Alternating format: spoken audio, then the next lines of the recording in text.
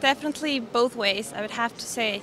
Innovation, ideas, people, creating companies necessarily end up uh, engaging in commercial relationships. At the same time, once you are engaged in commercial relationships, problems may arise that require innovative ideas to find solutions to those problems.